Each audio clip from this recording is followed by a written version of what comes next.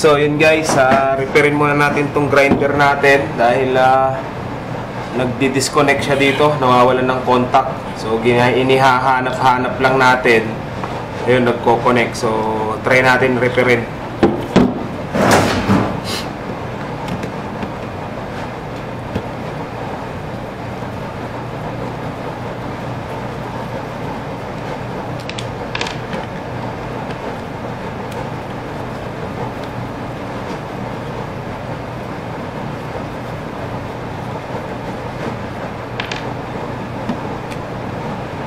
After natin ma-repair to guys, sisimulan na natin yung ah, next na i-repair natin na yard doon sa may tapat ng yard 5. Natapos na natin yung nasa yard ah, tapat ng yard 3.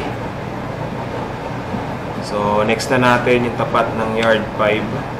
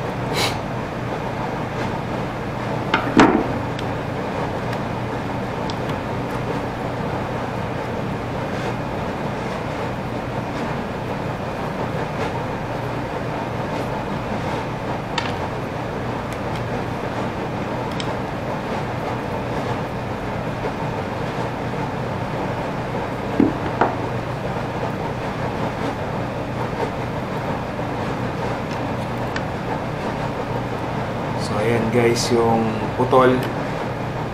Ayan o. So check natin. Ayan. So putol yung linya ng blue. Ayan o. Putol. So yung linya ng ano okay naman.